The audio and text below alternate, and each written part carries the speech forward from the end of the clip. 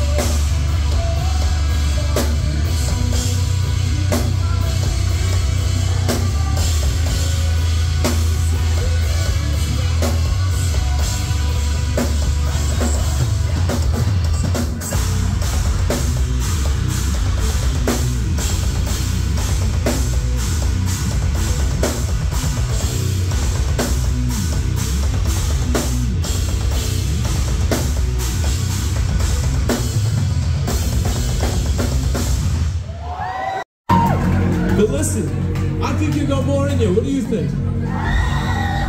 We're here to warm you up for the big fucking event that is Holding Absence. So, I need to see some crazy, stupid shit. Are you ready to go?